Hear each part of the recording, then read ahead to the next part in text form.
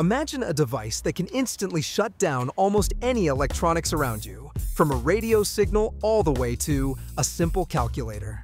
Don't worry, it's just a fun experiment that reminds us technology isn't always as reliable as we think. You're honestly doing the math in your head, while someone next to you is clicking away on their calculator and getting better scores. Sometimes you need to remind them your brain is stronger than any gadget. Ready? Then let's begin.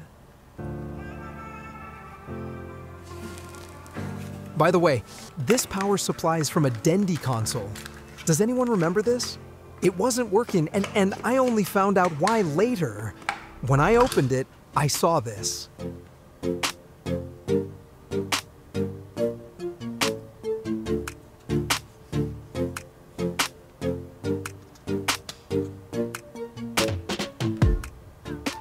I'm using a red tactile button, way more reliable than a regular switch, and it never stays on by accident.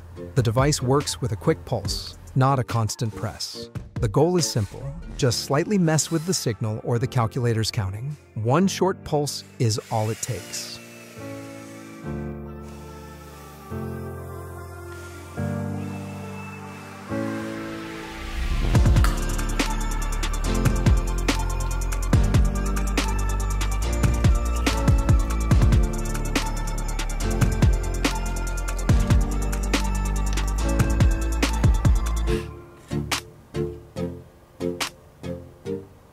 For this part of the build, we'll need a battery charging module.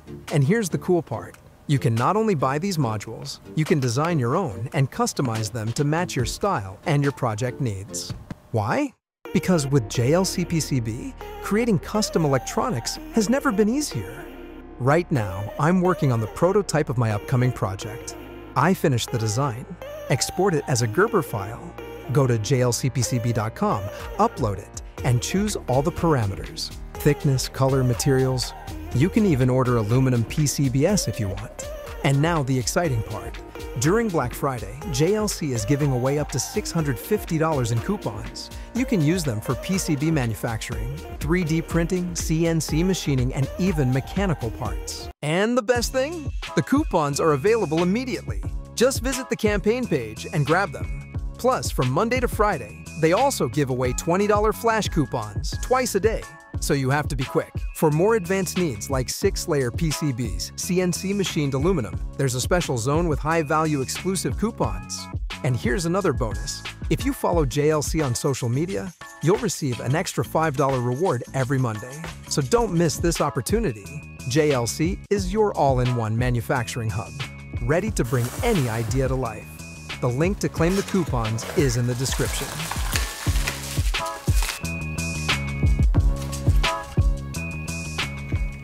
To install the microcontroller, we need to prepare some space.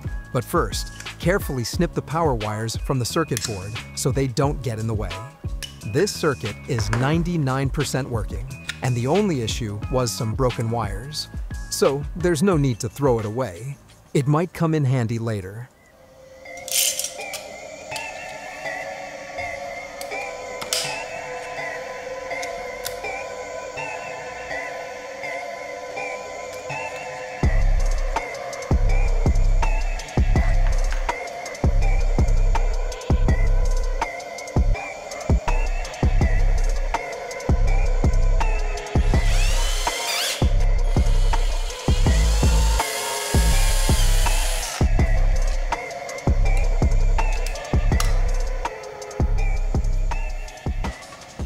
Now that the hole for the USB port is ready, it's time to secure the board. I'm using hot glue. It holds the board firmly and prevents wobbling. The DIY frequency and radio signal jammer can now be charged via mini USB. It's more convenient than using batteries, which run out quickly and need constant replacement. The battery is reliable, stable, and long-lasting.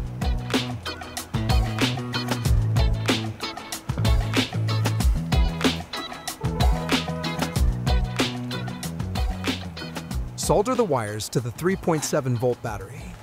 But it's better to use a connector if there's enough space inside the case. It's safer and more convenient. Then connect the wires to the module. Positive to positive, negative to negative. Simple and reliable.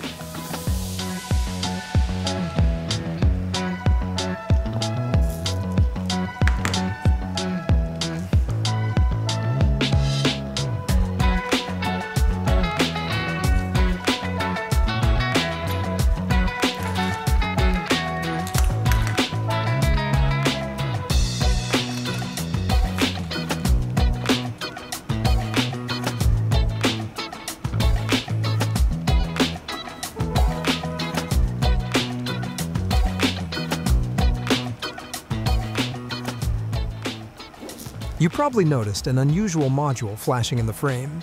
No secrets here. It's a high voltage module from an old stun device. These modules are easy to find online and come in different power levels. If you need a wider range, you can pick a stronger one. The high voltage leads connect just like any standard module, positive to positive and negative to negative. And the two identical wires at the output form a simple working pair with no polarity. They're connected to the same point where the original power contacts were.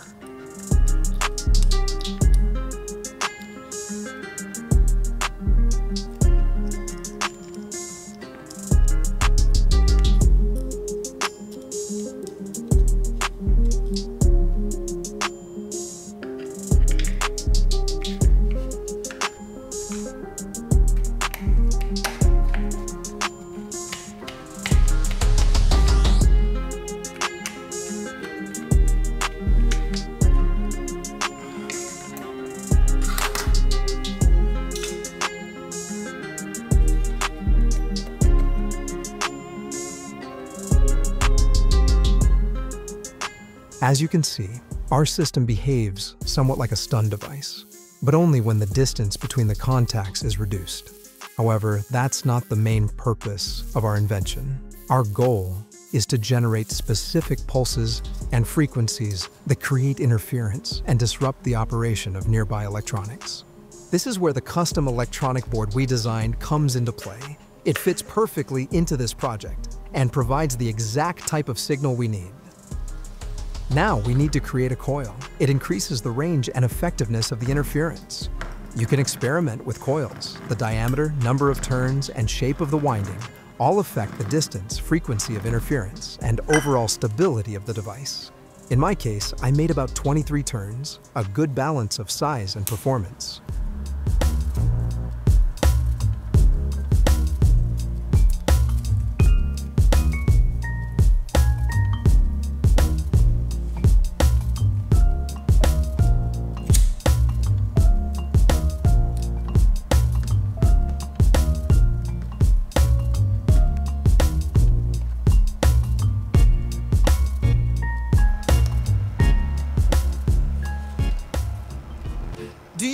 How a signal jammer like this actually works? It generates a series of very fast high voltage pulses, each containing multiple frequencies. These pulses go to a coil, which acts as a radiator, converting electrical oscillations into electromagnetic waves.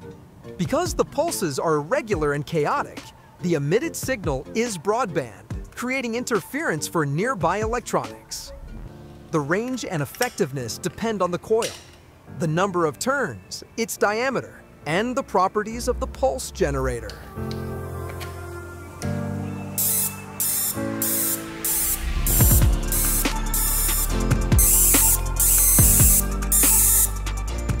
As you can see, our coil connects through the electronic board and is removable. This allows us to prepare coils of different diameters in advance and easily swap them to achieve different ranges. That way, we can experiment and find the optimal setup without modifying the entire device. Now you know that behind the apparent simplicity lies real science.